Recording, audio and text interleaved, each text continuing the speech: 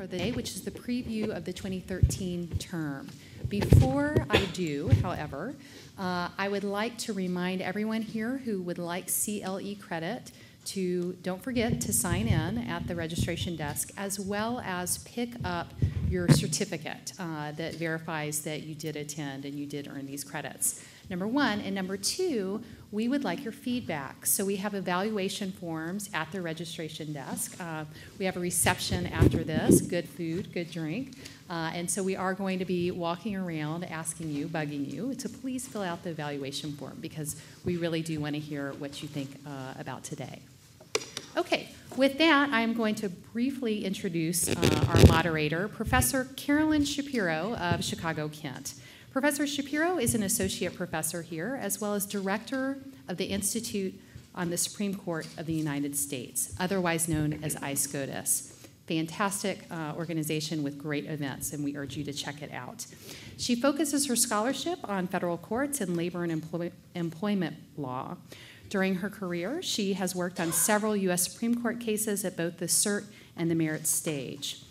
She uh, is a triple threat from University of Chicago. She earned her bachelor's there, her master's there from the uh, Harris Graduate School of Public Policy, as well as her JD. Following law school, she clerked for Ch- Chief Judge Richard Posner of the Seventh Circuit, and then Justice Stephen Breyer of the United States Supreme Court. With that, we'll get started. Thank you, Christy. Um, and I'm going to apologize now to my panelists because I'm going to introduce you very briefly so that we actually have time to talk about our cases um, and refer everyone to the program uh, where there are more detailed bi- bios. But to my immediate left is uh, Steven Loy, a partner at Stoll, Keenon, Ogden, and Ogden in Kentucky, uh, Lexington, Kentucky. Um, then we have Paul Wolfson, who's here from Wilmer Hale. Uh, next to him is Jim Dabney from Fried Frank.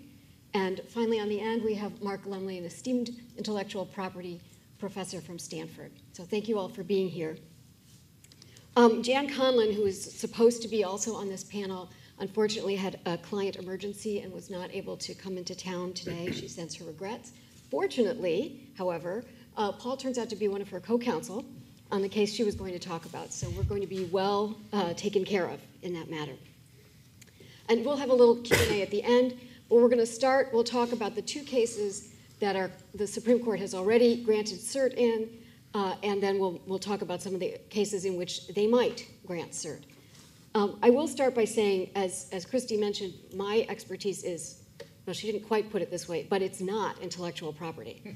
and uh, so I was really excited when I discovered that the two cases we're going to talk about first involve standing and um, involve burdens of proof.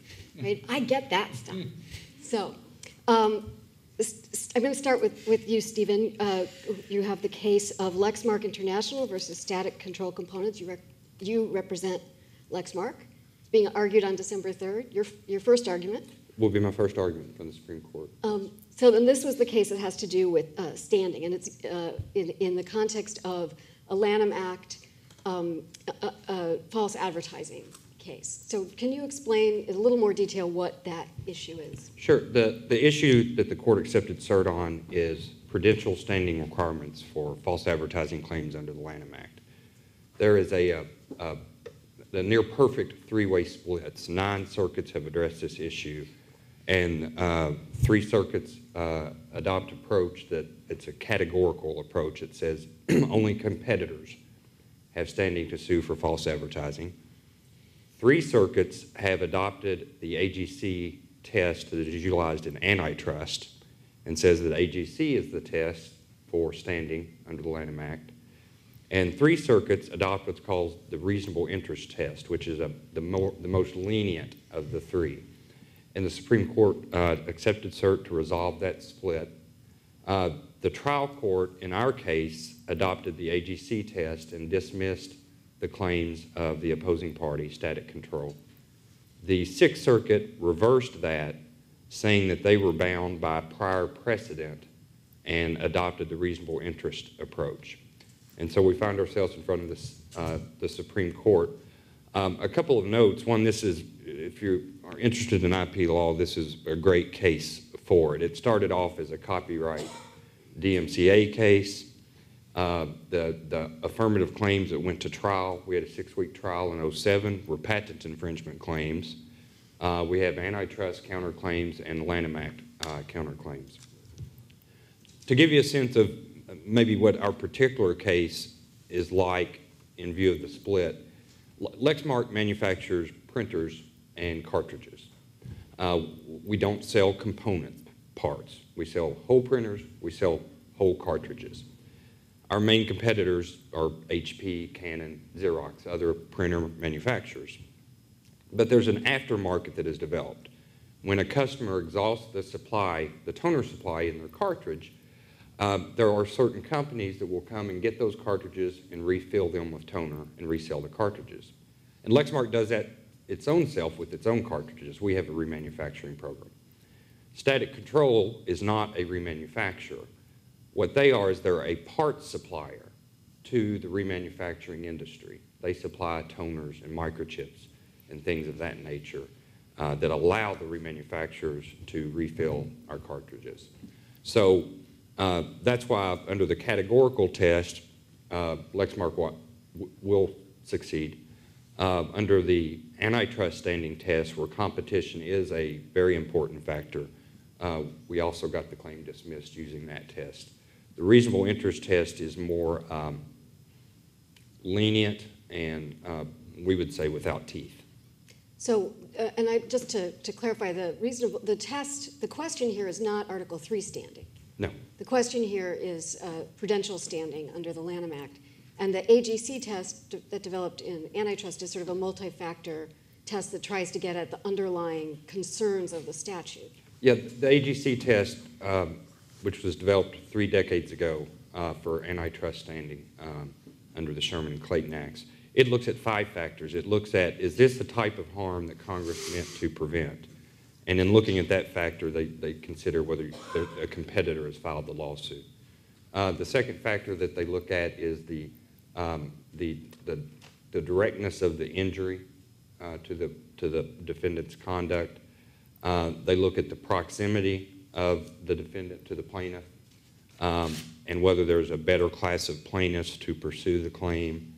They look at whether the damages are speculative, and they look at whether there's a risk of duplicative damages or problems in apportionment. So, right, so it's, it's, it's a not enti- entirely predictable test, but it is definitely, it would be much harder test for your, uh, your opponent to, to meet. Yeah, by virtue of having the, the five factors and the benchmarks, it, it is inherently a more difficult test, and it, and it expressly considers competition as a key component.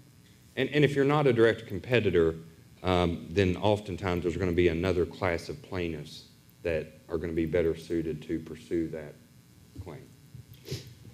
So, um, thank you. Um, I want to, since we are very, we have very tight time here, we're going to move on to talk about the Medtronic case, Uh, which is being argued on November 5th. Are, are you arguing? Uh, no, I'm not arguing it, but, um, uh, but, um, I, I do represent Medtronic, and so quite happy to talk about the case. Um, so this is an issue that came to the fore since MedImmune. MedImmune, as you all will recall, um, the federal circuit had previously held that it had no jurisdiction, when a licensee continued to pay royalties under the license, but wanted to challenge the patent as invalid, that there was no federal jurisdiction over such a suit because the licensee didn't have any kind of reasonable apprehension that it would be sued by the patent holder. The Supreme Court rejected that rule and said, yes, there is uh, Article III jurisdiction in such a situation. So this is a uh, MedImmune type case. Um, uh, The Mirowskis are uh, uh, holders of patents to um, a defibrillator and um, pacemaker, uh, heart resynchronizer technology um, through a sort of complicated series of licenses that I won't go into. Um, The uh, licenses are held by Medtronic, which of course manufactures uh, uh, medical, medical devices of various kinds. The license provides that as Medtronic continues to bring products onto the market, if the Mirowskis think that one of, that they're one of the new products um, is covered by the patent, the Mirowskis can make a demand and say, pay us royalties. If Medtronic disagrees, Medtronic then has the right to um, go, go sue under a declaratory judgment action, um, uh, contending, you know, among other things, that the patent is invalid and, uh, you know, not, and also not infringed, um, or not, not, or not covered by the patent.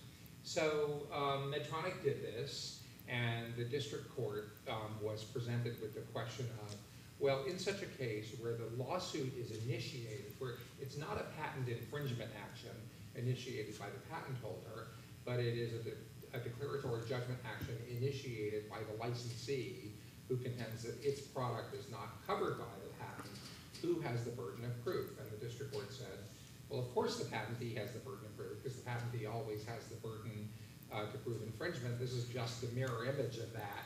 You know, it's just sort of a happenstance that the, that the licensee is a plaintiff because it's a declaratory judgment action. We have that sort of situation all the time where people can initiate declaratory judgment actions. It doesn't change anything about the substantive law. So the patentee has to prove, um, uh, has to prove that the, that the products read on the patent. And, um, case went to trial and, um, uh, Medtronic won. Um, so the Mirowski's appeal and the Federal Circuit said, no, no, no, no, no. Um, Medtronic brought the declaratory judgment action here. Medtronic is the plaintiff. The plaintiff always has the burden of proof in our system because the plaintiff is the party that is trying to change, change the status quo. So, um, Medtronic, you have the burden of proof. Judgment reversed, go back to, go back to the district court judge and figure out who wins. So, um, Medtronic, um, then filed a cert petition with the Supreme Court and said, you know, this, this is crazy. Um, you'll forgive a little editorial comment. Because I'm, I didn't indicate who you represented, Oh, sorry. but I think, no, I think he it's just did. obvious. We got it. In case you didn't get that before. So Medtronic filed a cert petition, said, no, no, no, no, no, this can't be right. You know, um, the burden of proof on the substantive question cannot depend on the happenstance of who um, initiated the lawsuit, because otherwise, why would you ever bring a declaratory judgment action if the cost of doing that is all of a sudden you have to bear the burden of proof instead of waiting for your opponent to sue you? Um, Rouse's, of course, see it quite differently. They say that, you know, you're the one who decided to, you know, to stir the waters by going into court. One of the, one of the costs of doing so is that you bear the burden of proof. We were perfectly happy with things that the way they were before. You're the ones who want to kind of get out from under, you know, get out from under the, the license and your legal obligation. So the Supreme Court, um, uh, took the case, um, and the parties have filed their principal briefs. Um, uh, we, for Medtronic, are currently in the middle of, of writing our reply brief. There is an interesting issue of federal jurisdiction, which has poked its head up by virtue only of an amicus brief filed by Tessera. Both parties in the case, Medtronic and Mirowskis, agree that there is federal jurisdiction. There's an, but, but an amicus has raised the question about whether there is jurisdiction in the case under the Gunn versus Minton case, which you heard um, uh, about this morning. I won't, we don't have the time for me to, to go into that, but it is a very interesting question, and um, that- that I don't know what the court will do with it, because, um, uh, whether they'll be interested in it, but um, I think that, that's another little sort of facet of the case that. Thank you. Um, I- I- You, I, I actually think it would be interesting, this is a good moment to sort of talk about the question of using a different appellate counsel than trial counsel, because you, you were, you came in at the appeals. team. Correct, correct. I mean, you know, this actually fits in very nicely with kind of the themes that Judge Wood was Yes. talking about earlier, which is, you know, the Supreme Court is extremely, much so generalist court, right?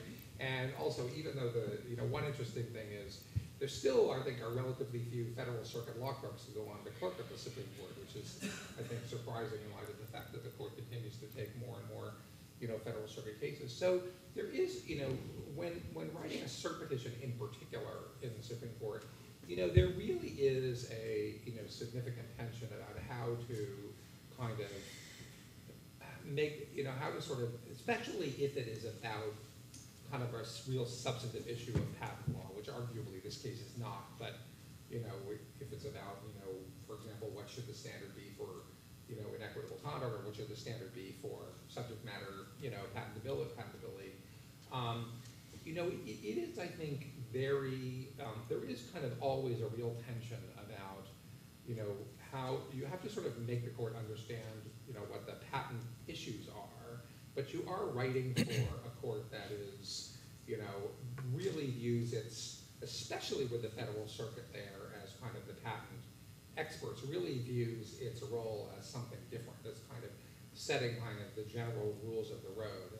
Um, uh, you know, I always find that if I can't figure out by the end of the statement of the facts why the, in a, in a cert petition, you know, why the court should take the case, then you have a real problem because if it's too, you know, if you're writing in the federal circuit, the statement of the facts can be kind of pretty technical.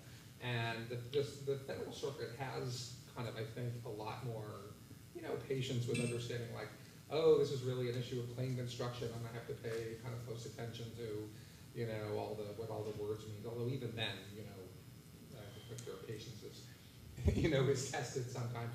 You know, Supreme Court, not so much, right? And, um, yes, it is true that the ideal counsel, as Judge Wood was pointing out, would be the person who really understands the technology, but can also, you know, um, be generalist. But I think that the, you know, the, the, the Supreme Court really, you really have to kind of understand why is the case important, not just for patent law, but also for a whole economic sector, you know, for example. I mean, I think at cert, I think in patent law, cert petitions, amicus briefs can be particularly useful in sort of helping, helping the court understand, you know, look, we understand that you don't take that many patent cases, there's never gonna be a conflict of the circuits.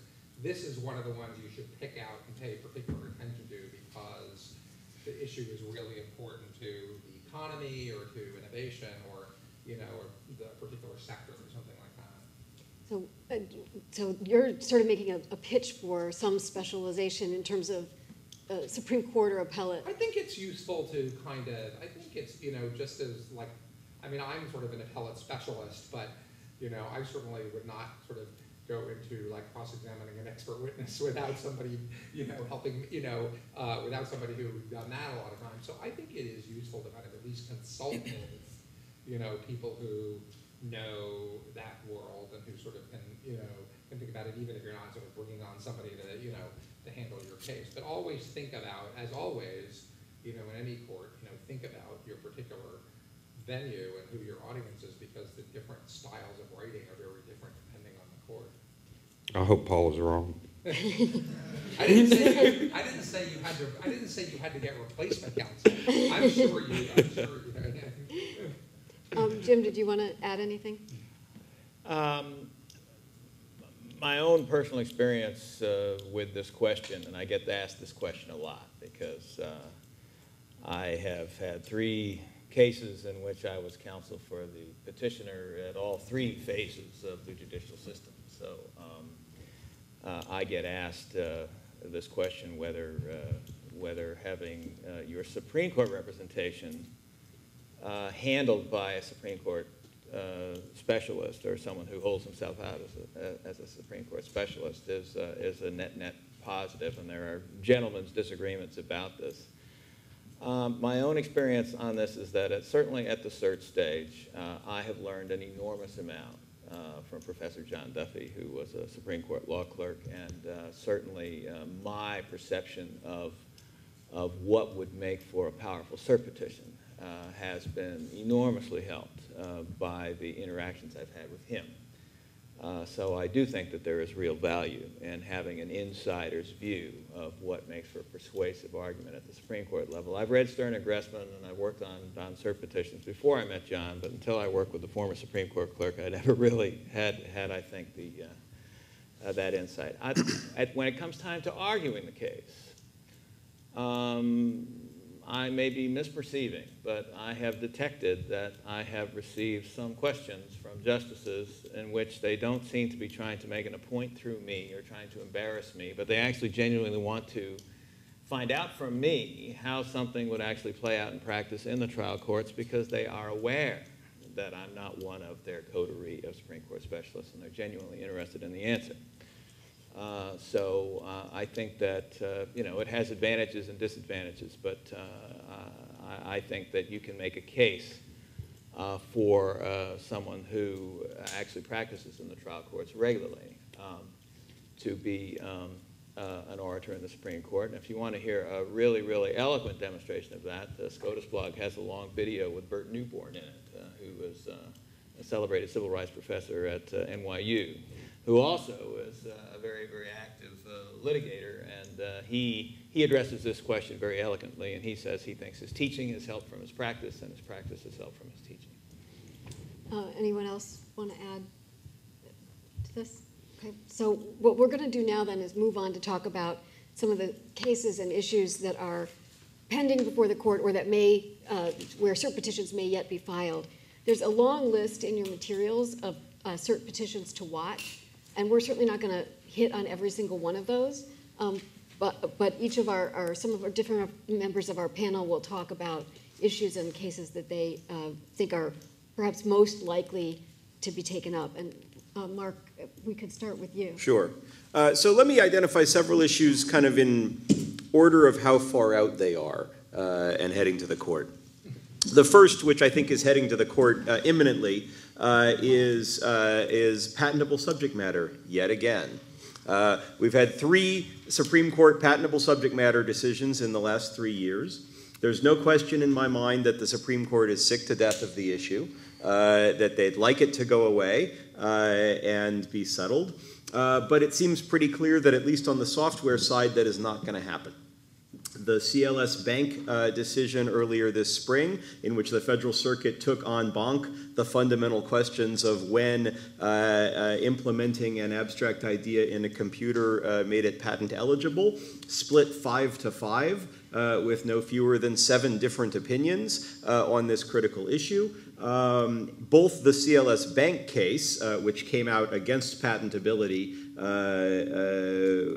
in the five to five uh, uh, split, ending up favoring the, the district court opinion, um, and uh, the ultramercial uh, case, which is, uh, uh, was decided after that time uh, and uh, had a 2 1 decision uh, with a majority written by two of the judges who were in the uh, dissent, or I don't know if you call it a dissent from a 5 to 5 decision, but not the winning side of the 5 to 5. Um, Just to ex- explain, right, that when the court's evenly divided, the lower court opinion. is affirmed, Yeah. right? So, um, so you've got all, all of, and they and they go in the opposite direction. So what what uh, what's clearly happened is there are two camps in the federal circuit on the question of patentable subject matter, uh, and it matters entirely uh, what panel you get.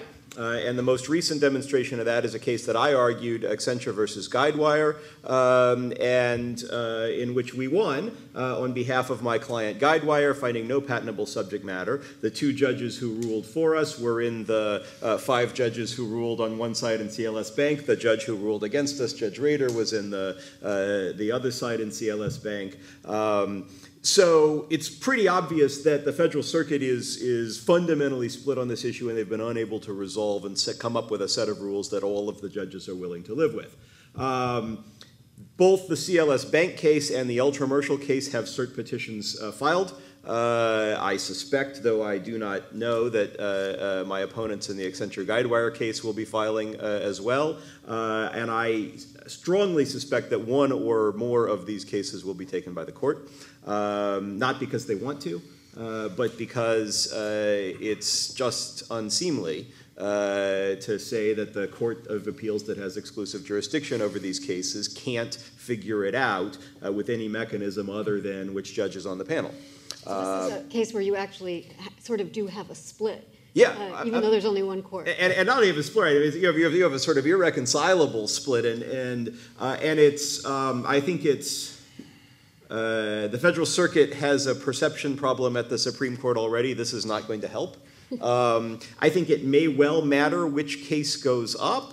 Uh, both because they've come up and they've come out in different directions, one for patentability, not for patentability. But my guess is at the end of the day, they will take a case. Uh, they will not solve the problem. I personally think 101 is an insoluble problem, and the reason uh, both the Federal Circuit and the Supreme Court have been throwing themselves at it is that there isn't a clear answer. There will never be a clear answer. But one of the things we will learn from the Supreme Court's opinion, if and when it happens, uh, is that just adding the words in a computer uh, to an otherwise abstract idea does not make it patent eligible, and that's something on which the court is currently split. That will have a pretty profound effect on a lot of claims written in the last 15 years uh, that take uh, exactly that form. So that one I think is uh, is both a high likelihood of some of it grant uh, on one of the cases and a pretty uh, and a pretty proximate one.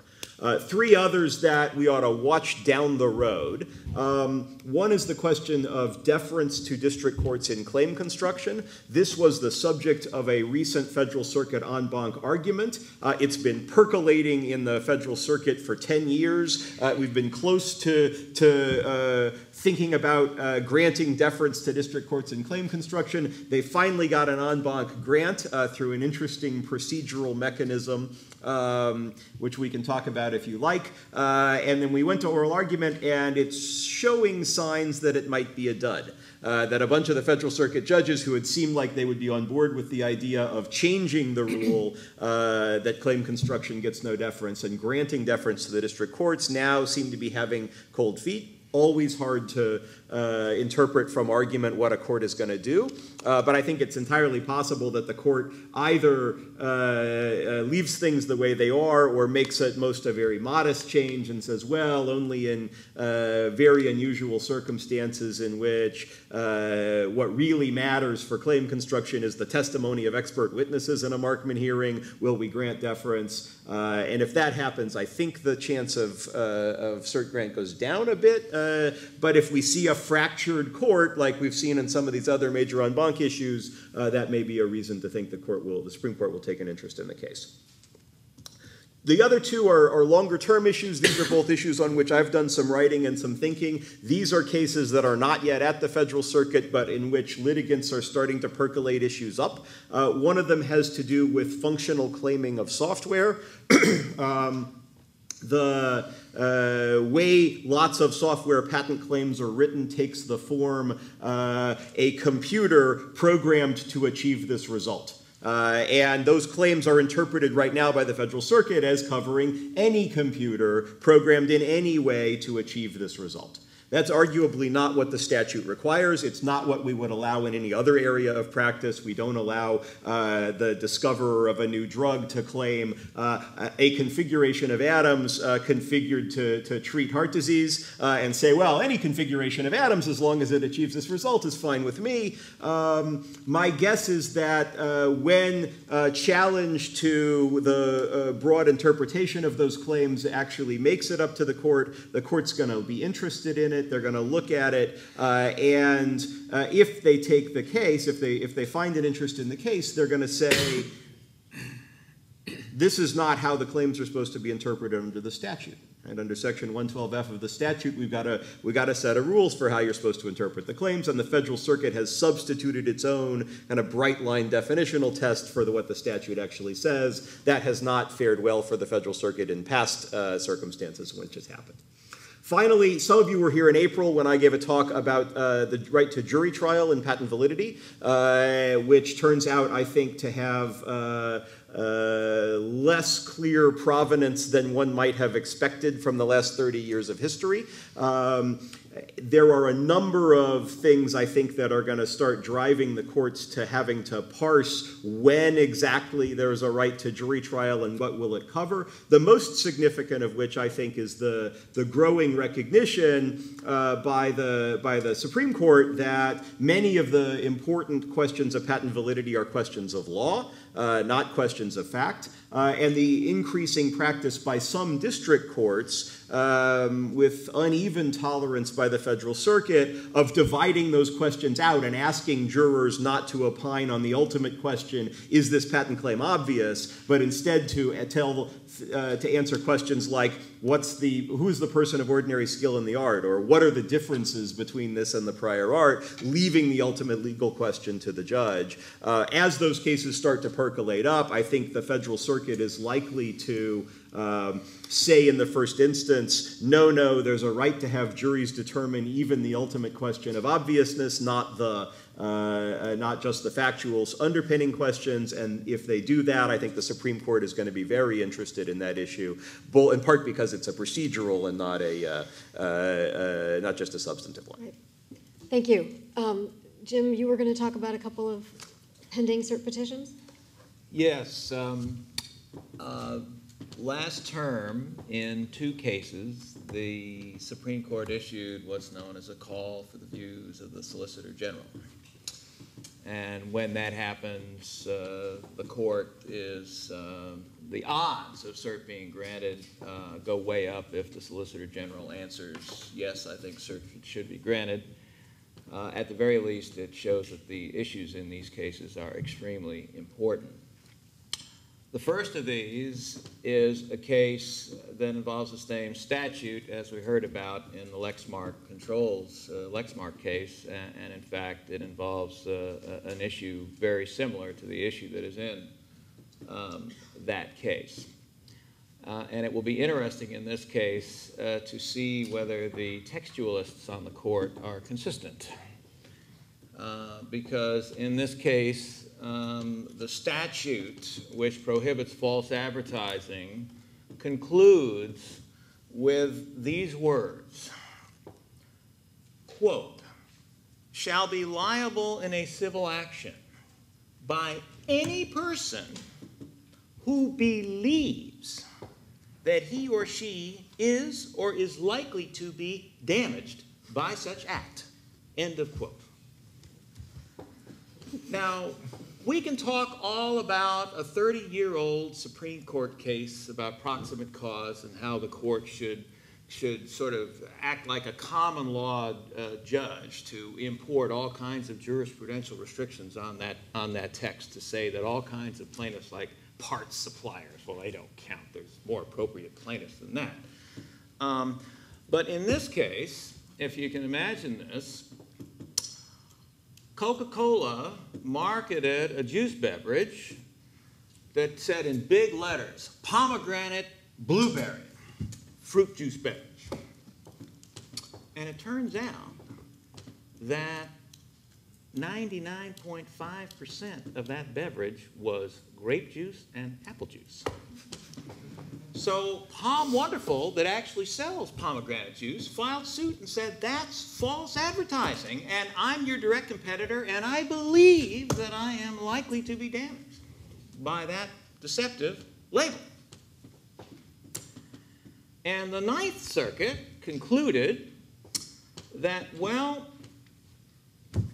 no, we're not going to allow you to invoke that statute. Why? We're not going to allow you to invoke that statute because there's another statute. The Federal Food, Drug, and Cosmetic Act. And the FDA didn't have any problem with that label. That label was submitted to the FDA and they didn't approve it. And the FDCA provides for comprehensive regulation of drug labels. So we are going to say that you're not going to be allowed to invoke this statute despite its broad text.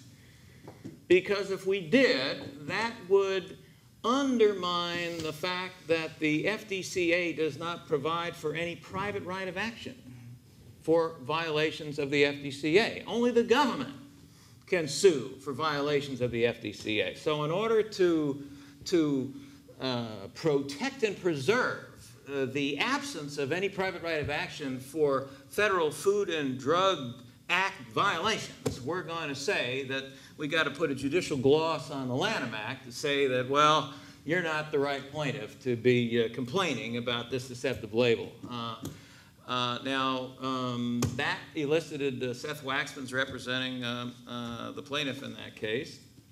And uh, uh, I don't know what the political forces are going to be about whether the, the FDA is going to like or dislike this kind of a case, but I would say there is a reasonably good chance that uh, the court is going to take that case no matter what the, uh, the Solicitor General says. And it will be a very interesting thing to see that when textualism favors the plaintiff, uh, what the textualists will do uh, with that.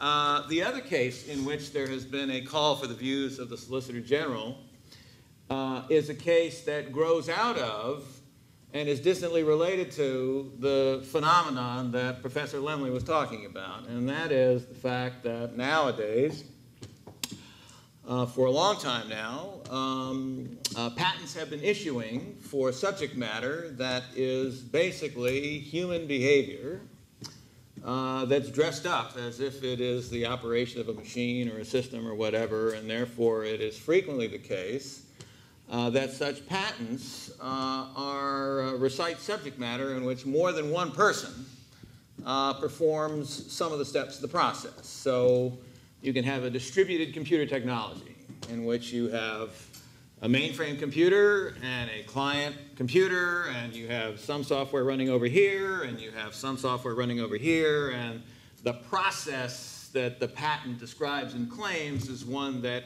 naturally would be performed partly over here and partly over here. And the issue in the Akamai case, in which the, the Court has also called for the views of the Solicitor General, is when a patent claims a method, a series of steps, a process, but no one person controls and directs the acts which constitute performance of the process.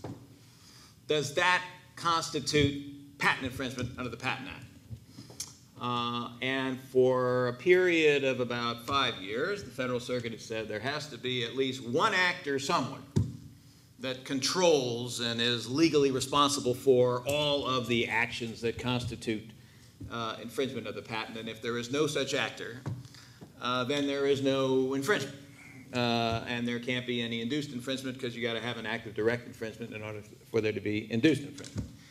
In the Akamai case decided last August in a, a, a ruling that has now got a, a CVSG, uh, the court en banc um, adopted a new interpretation of what it means to actively induce infringement and held for the first time that I know of that even though there is no one person who infringed the patent, someone can nevertheless be liable for orchestrating a infringement that consists of the actions of this guy over here and this guy over there.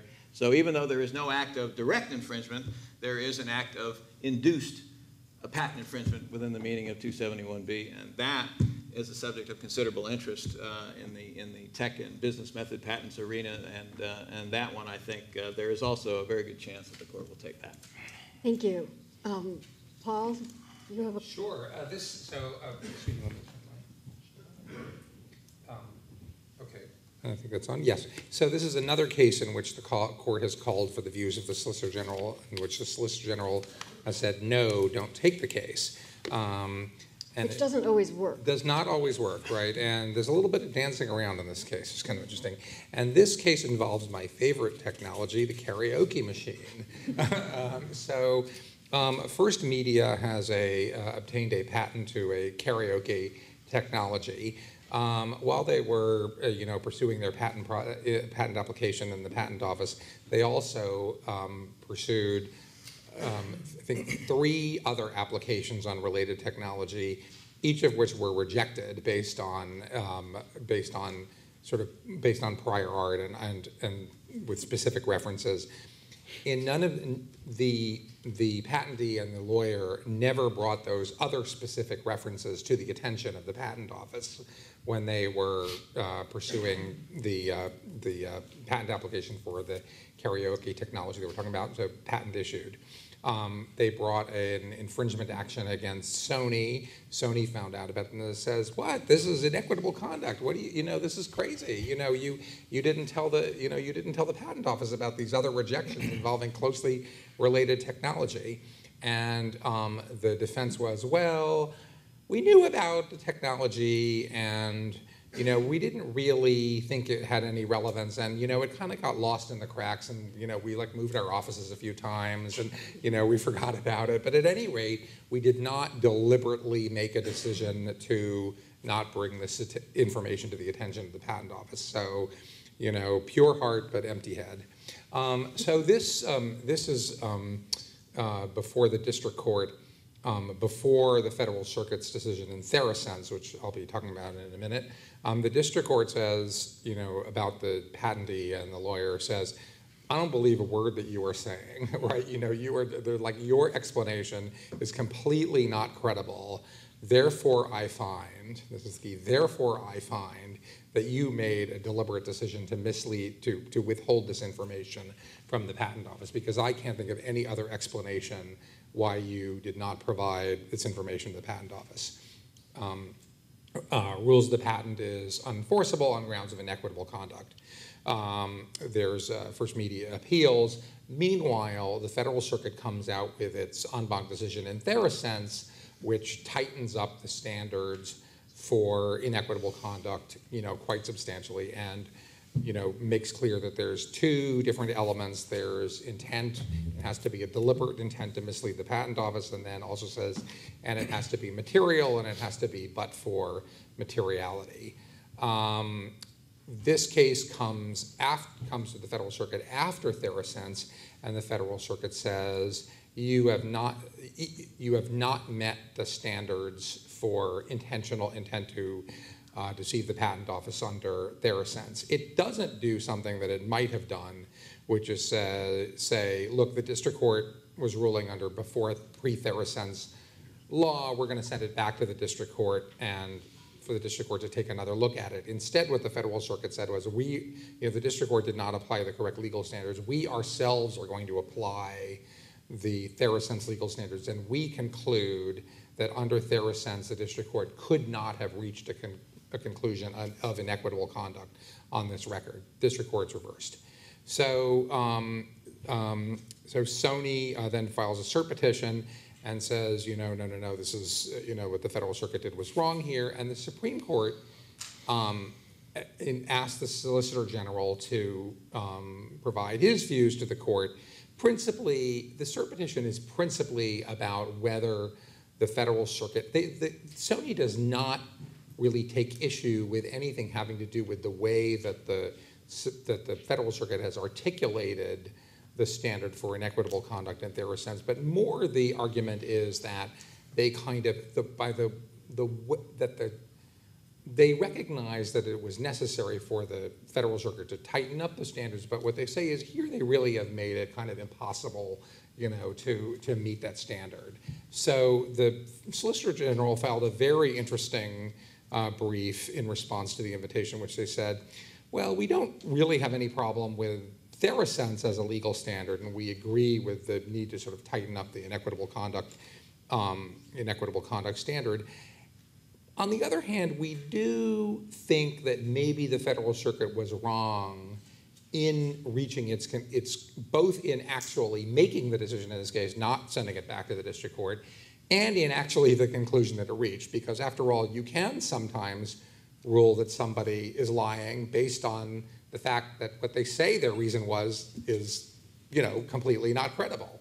Um, and so they're, they're worried that the Federal Circuit has sort of gone too far in saying that just sort of the absence of a credible reason for what you're doing does not mean that, you're that you have that your reason was incredible. But they said, you know, we're not, but the Solicitor General said, you know, we're not really sure that the time is right now to review this. There haven't been a lot of cases after Therasense. We think that there ought to be more cases kind of to percolate in the Federal Circuit to see exactly how Therasense is going to be worked out in practice. I think this is probably the kiss of death to the cert petition. You know, it seems like the, the the Solicitor General saying, you know, there might be a problem here. We're not sure. We'd like the, we think it makes more sense for the Federal Circuit to spend more time working out. I think is probably going to be persuasive to the court and just say, you know, we'll just let this one go and we'll wait to see if there's another another case comes along. Because uh, the Supreme Court, of course, is not a court of error correction. Correct, correct. And I was actually a little surprised that the Solicitor General was asked to um, file a brief in this case, which you know was interesting to me because it you know, it, obviously the court was aware of what the, the Supreme Court was aware of what the Federal Circuit had done in Therasense, which is not this case, but they clearly were wondering whether, you know, Therasense had struck the right balance. And I think what the Solicitor General has really said to the Supreme Court is, lots of interesting issues here, but we're just not sure that this is either the right time or the right case to address them. Great. Um, before I, we open up for Q&A, does anybody want to jump in or add anything? Well, there is uh, one case, there are two cases. One has uh, had a petition filed, the other will certainly have a petition filed that uh, I think uh, have a very good chance of going up. Um, the one that was recently filed is a case called Arthrex versus Smith and Nephew. Uh, Arthrex versus Smith and Nephew is a case which raises the question whether a person who holds a belief that a patent is invalid can, on that basis, avoid liability for conduct that turns out to have induced infringement of a patent. This is a case in which the defendant had supplied suture anchors, which after three trials uh, and multiple appeals were turned, uh, uh, were held finally by the Federal Circuit uh, to have embodied the patented invention and resulted in a, in a judgment of liability for about $80 million in damages. And the argument was, well, the district judge agreed with us. The, just, the district judge granted judgment as a matter of law, and, and, and obviously we had good faith uh, grounds for believing that we were not infringing uh, the Smith and Nephew patent, and that should provide us with a uh, with a defense. Sort of like a, it's sort of the flip side of the inequitable conduct. Uh, and and what this is an outgrowth of is uh, is a case that the Supreme Court decided in 2011 called Global Tech, uh, which was uh, a case in which the issue the issue in question in that case was whether or not ignorance of the existence of a patent was a defense. Uh, and the court held, affirming a judgment of the Federal Circuit uh, that held that, um, uh, well, um, the defendant in that case was willfully blind to the existence of the patent. This was a, this was a defendant who, uh, who deliberately averted his eyes from knowing. So if his argument was, I couldn't be liable because I didn't know there was a patent that excluded the sales that I was causing to happen, uh, willful blindness was a sufficient on the issue of whether you knew of the patent. And so what's happened in the two years since Global Tech is that people have been arguing that the concept of willful blindness should be extended to questions, well, did you know not just that the patent existed, but that what you were doing was infringement, which is the Arthrex case. Did you have a good faith basis for thinking that the patent was invalid and therefore you didn't think you were inducing infringement? That is the Commil case that was decided in June, and that is also, I'd say, almost certainly going to be the subject of a petition for cert uh, in the Supreme Court. So uh, the, the scope of 271B uh, which is also the issue in the Akamai case I mentioned earlier, is in, in deep, deep instability. Uh, and I'd, I'd, I'd put my money on Commil and not Arthrex. I think Arthrex presents an issue, did you know it was infringing, that the Supreme Court pretty clearly, albeit in dicta, resolved uh, in SEB. Uh, the invalid, did you think the patent was invalid even though you know you're infringing is not one they've resolved. Let me, let me close with one final um, uh, case where there are petitions pending that I do not think will be granted, but the issue they identify will eventually be granted, and that is attorney's fee shifting for prevailing defendants. Um, the Federal Circuit has been systematically dismantling the discretion of district courts to give fees to defendants when they win their cases uh, by basically by limiting it to cases of inequitable conduct and then in turn limiting inequitable conduct to, to the vanishing point. Um, the, the identical statute in the trademark law, by contrast, is uh, uh, interpreted much more capaciously. Um, I think there is a good cert petition that will be written that will catch the court's attention uh, on this issue and will result in more discretion and more case by case ability to grant fees. There are two petitions up there now, uh, but they, ha- they suffer from some factual difficulties. In both of those cases, the district court denied fees, uh, so the discretion issue isn't presented. So I'm not sure that issue is coming right now, but it's coming. Um, I've gotten the stop sign. Um, and since everybody's waiting to go eat and drink, um, I don't want to hold us too far over, but I do just want to give a chance for maybe one or two questions. If there are any? All right. Oh, yes. The insolubly ambiguous issue. Yeah, indefiniteness, right. The only one Yep. you did mention Yep. this idea that. Press the button. to be Insolubly ambiguous in order not to be, to be indefinite. Right. Is that gonna get resolved? Because it sounds like the kind of thing it should. I agree with that. So I, you know, it's an interesting question. There were there was a petition a couple years ago that presented this issue. The Federal Circuit's definition of whether a patent is indefinite, unless it is a software means plus function claim element, is basically no, it's never indefinite. Uh, a- a- unless it is insolubly ambiguous, it doesn't matter that it's going to take teams of experts millions of uh, dollars to figure out what it means uh, over a period of years. It's still considered definite. I think the issue there is can you get the court interested in the issue? Um, if they take the case and you go back and read Supreme Court precedent, the Supreme Court's precedent on, on definiteness and claiming uh, is a lot different than the Federal Circuit standard, and that standard will not survive. Uh, so the only question is whether they view the case that, that actually is presented as too esoteric. Great. Well, thank you all very much. Thank you to the panelists. Thank you all, thank you all for coming to the conference.